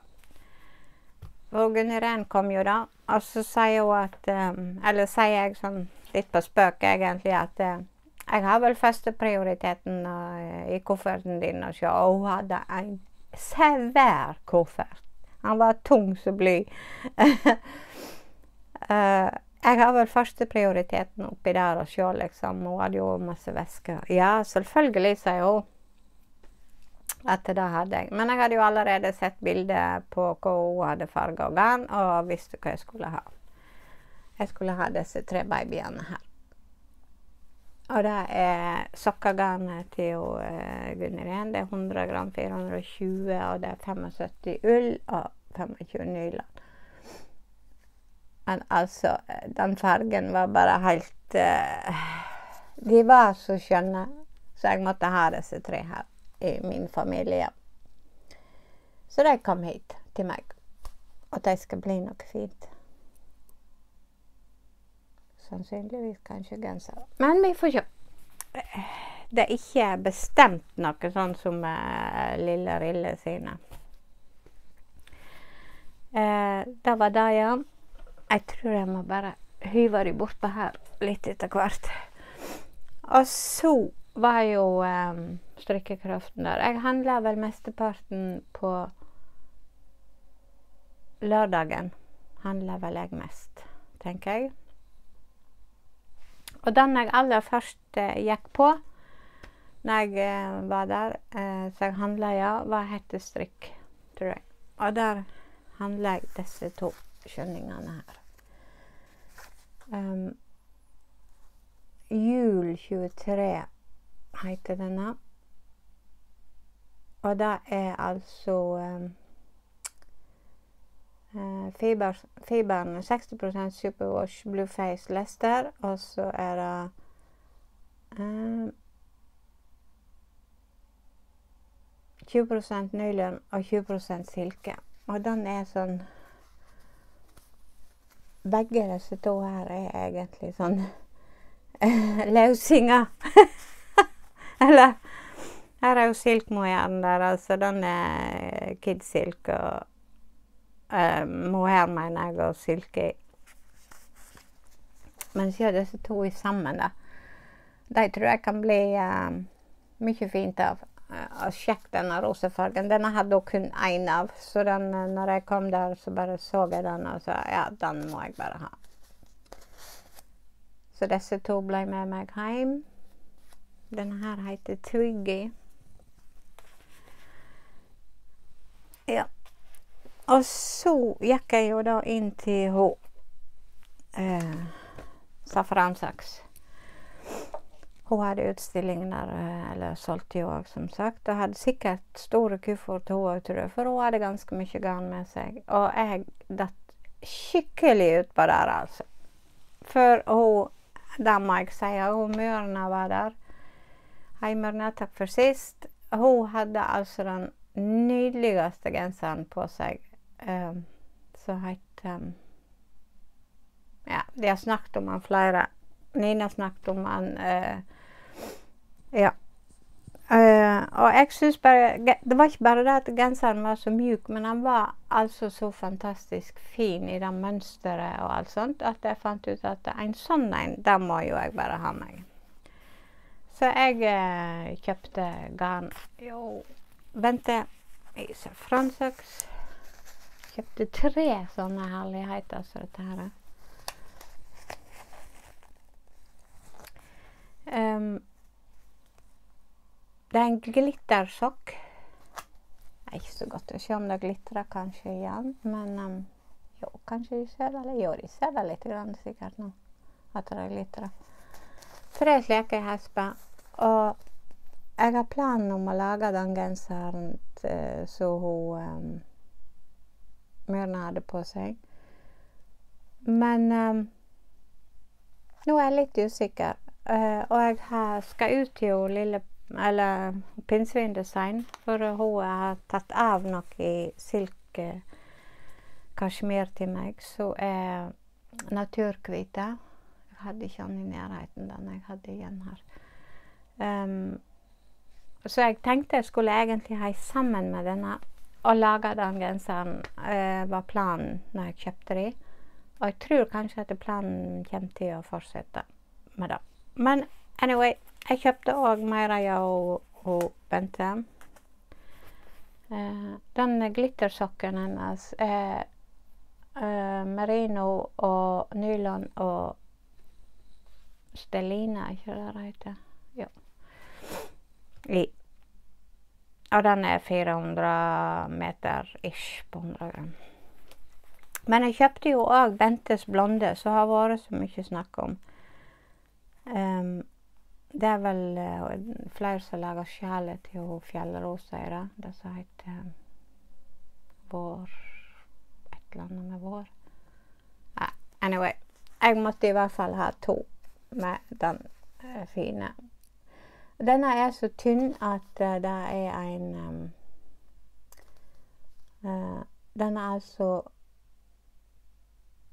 55% silke og 45 Nei, 55 Bluefish Lester, altså ull, og så er det 45 silke. Uh, og den Han er så mjuk, den. At det Ja. Han er bare helt fantastisk. Er, han er ganske lang, og det er 800 meter på 100 gram, så det er jo en perfekt følgetråd. Men um, uh, jeg tror ikke det blir følgetråd til denne, for det blir litt feil. For min del, i hvert fall. Så um, han blir nok til noe annet. Det kan godt hende han blir bare et sjal. Dobbelt, eller sammen med noe annet. Jeg har ikke helt planen. Måtte bare ha de to. Uh, og så gikk jeg til hun eh, Ruth Iris i gjestebud. Hun hadde jo Jeg, jeg har en del garn av henne fra før. Syns det er kjempegodt. Masse sokkegarn. Og så sier hun eh, Jeg har fått en ny base nå som jeg har farga på. Den er helt ny. Den er fersk i, i nå på denne her messa, sier hun. Og så bare uh, OK, hva er det da, liksom? Jo, det var da um, merino og silke. Hun kaller det for silkebris. Og det er en av de seriene som er gjestebud. Hun har jo en serie som heter Gjestebud. og Det vil si at hun har gjesteopptreden av basene sine. Hun har jo noen arvesølv av disse her som er hennes sine baser som hun på en måte farger på hele tiden. da.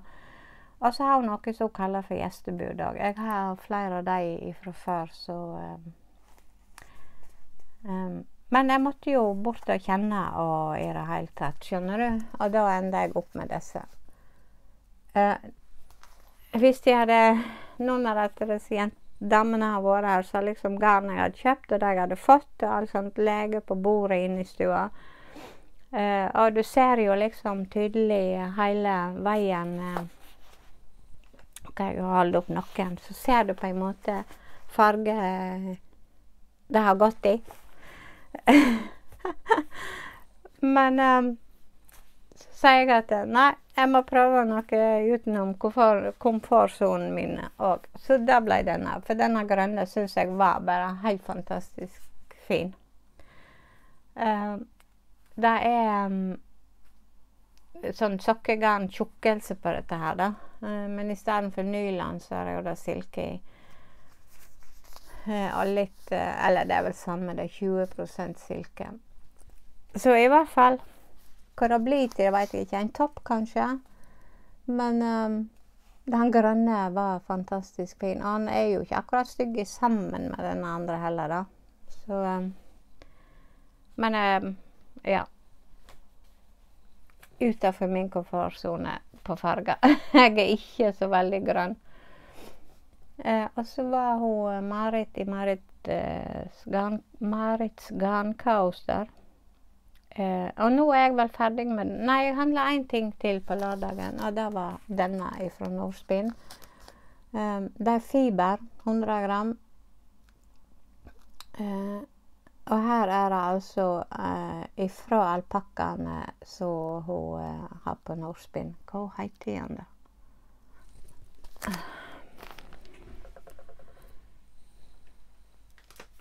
Jeg må bare se om jeg ikke finner ut hva det var hun het. Elisabeth heter hun. Altså verdens hyggeligste dame øh, å prate med. Og hun, denne gangen så hadde hun med seg fiber. Sist gang hun var, så um, var på Var vel kanskje på strikkekrafta òg. Ja, spiller ingen rolle. Uh, I hvert fall sa jeg at har du fiber med seg, da var jeg å begynne å spinne. Nei, hun hadde ikke med seg, men hun kunne ta med seg neste gang hun kom til Bergen. Uh, så hun hadde jo da med seg uh, fiber. Altså Og denne her ytterste enden her Her ser du egentlig her at det er litt sånn hvite eh, Litt sånn blanke fiber inni. Og det er silke. Så jeg gleder meg helt vanvittig til å prøve å spinne dette. Jeg har aldri prøvd å spinne med alpakka. Um, men um, ja, det skal jeg i hvert fall på rocken en eller annen gang. Og Elisabeth, takk for koselig samtale. Og du er bare helt um, Så er du på Jæren eller der i nærheten og har anledning til å reise inn på Nordspinn, så gjør det. For der er garnet deres òg er bare helt fantastisk fint. Men nå ble det fiber for min del, da. Og så eh, ramla jeg jo litt utpå på søndager, da. Jeg hadde jo lenge Jeg skal prøve å se kameraet når jeg. Jeg ramla litt utpå på søndager, ja, så jeg hadde jo egentlig tenkt at nå var jeg ferdig handla. Eh, men jeg måtte jo bort og snakke med Marit i uh, Marits garnkaos. Hun var der med mora si, hadde med seg masse fint. Uh, jeg var egentlig i utgangspunktet tenkt å kjøpe den linen hennes som hun hadde farger på. Uh, men der hadde hun altså da igjen fem hesper, så hun hadde solgt helt vanvittig av den. Uh, og jeg finner henne jo på garnbutikken hennes, eller nettbutikken, mener jeg, henne, så det er jo ikke noe big deal. Um, men jeg syns jo at jeg måtte ha et sånn lite suvenir hespe. Så på Maløyan så kjøpte jeg denne. Og utafor min komfortsone sone. Jeg er ikke lilla, blå, grønn. Jeg er veldig lite innom, liksom. Jeg har lilla fra før, og jeg har blått òg, men um, det er ikke det jeg liksom tar til først når jeg skal strikke noe. Uh, men her er sokkegarnet hennes, og syns jo at denne her lilla fargen var helt fantastisk fin. Um, det er 75 merino og 25 nylon, sånn som de fleste baser. Fargen heter Mary. Ja. Eh, det blir helt sikkert noen fine sokker av det, eller noe sånt. Men eh, altså til å være lilla, så var det en helt fantastisk fin farge. Og så var jo Stormdalull der. Eh, de for jeg jo bortom innimellom, eller gikk forbi flere ganger. Prata med dem og um, snakket med dem om Mona. Mona har vært der mye, og de kjenner Mona godt. Um, så hei, Mona. Takk for sist. Og hei de damene i Stormdal Ull som heter så mye så jeg ikke husker. um, er det mulig? Ja. Men i hvert fall, de to damene på Sogndal, takk for koselig prat. Fantastisk kjekt, altså. Um, og ikke minst der at vi begge kjenner Mona godt. Og, uh, Mona kan jeg ikke få sagt nok godt om, tror jeg. Altså, det, hun er et flott Helt fantastisk å kjenne. Men Stormdal Disse to damene her var der, begge to. Og de har altså da reist helt ifra eh, Saltfjellet, Svartisen, nærheten. Altså, det er jo ikke noe kort kjøretur, og de hadde med seg campingbil, tror jeg de hadde. Eller hadde de vogn? Ja, anyway, spiller ingen rolle på veien nedover mista de kind of nøstet eller hesper rundt omkring og hadde gjort en gimmick på det. Så koselige jenter at um, Ja. Og jeg hadde jo da fått ei sånn standardlulje og um, Mona ifra før. Um, og har jo kjent på hvor mjukt det var. Til å være norsk ull, så er det bare helt fantastisk mjukt. Eh, det stikker ikke noe særlig. Eller all ull stikker jo lite grann da, hvis du er var for det. Men eh, Ja, så jeg ramla jo skikkelig utpå der. Og skal lage den som hun har på seg i hvitt og lysegrønt. Jeg syns den bare var altså så fin. Um, så jeg kjøpte mønster.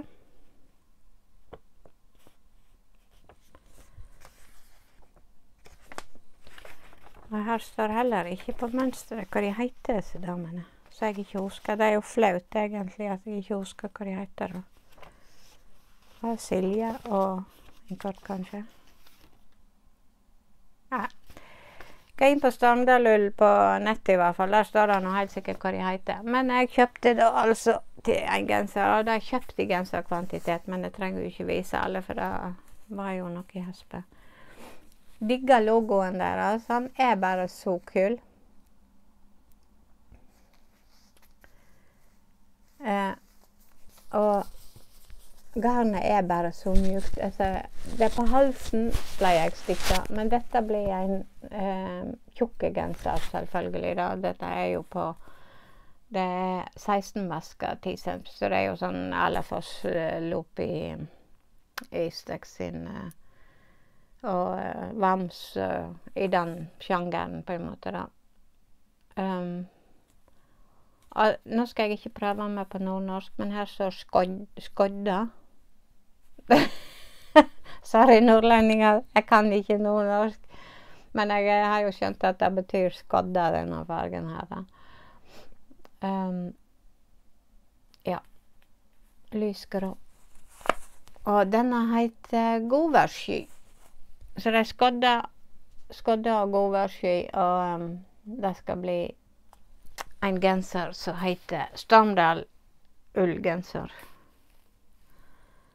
Og den gleder meg til å ha på pinnene, men det er litt for tidlig nå. Men dette tror jeg blir en sånn som jeg har med den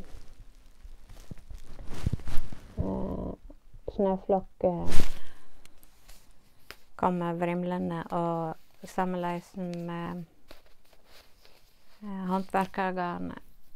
Jeg har en genser der òg, så jeg kan bruke rett innpå uten at det klør. Og jeg er litt sånn kløete.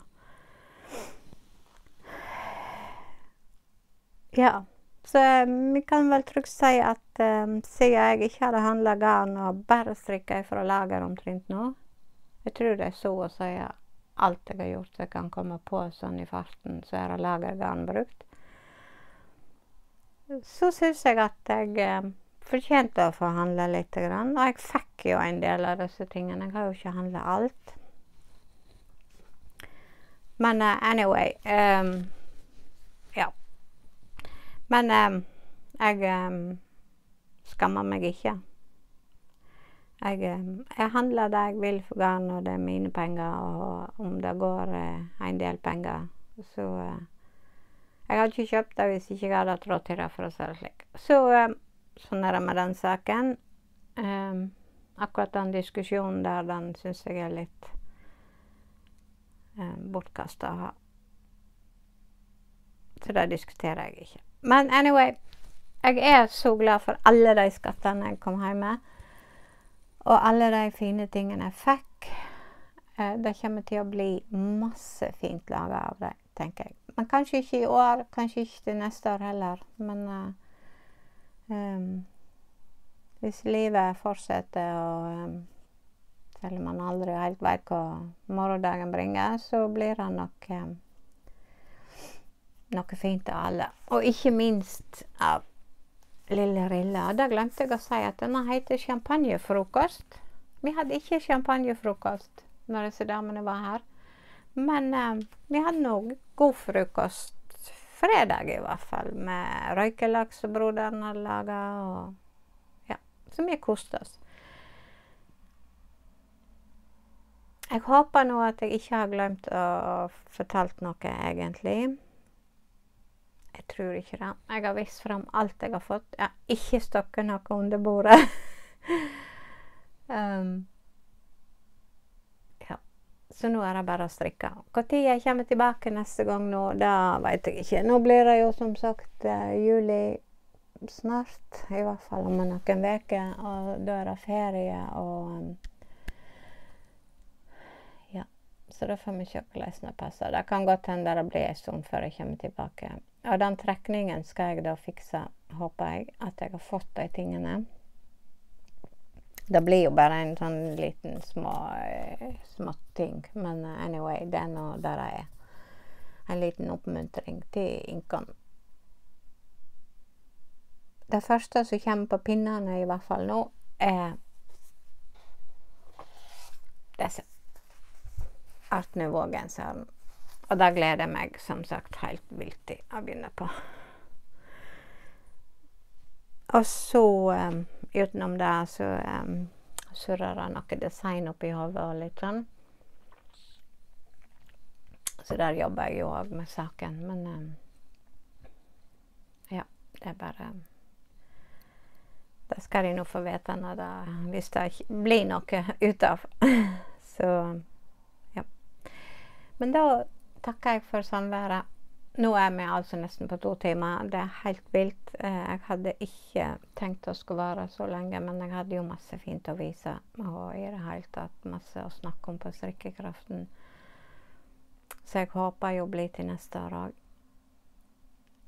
Um, men um, ja, vi får se. Kos deg i sommer med det du har på pinnene, eller heklenåler, eller syr, eller broderer, eller whatever slags håndarbeid du driver med i sommer og koser deg med, så må du ha en fortreffelig fin sommer. Um, ta vare på de du har rundt deg, og ikke minst ta vare på deg sjøl. Lad batteriene, og um, så kommer vi tilbake etter sommeren.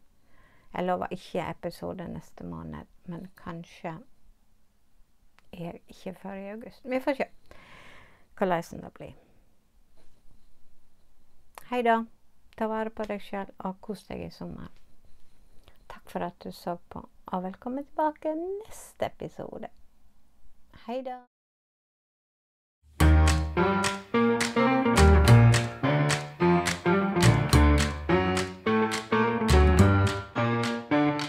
You had my heart, and we'll never be a world apart. Maybe in magazines, but you still be my star.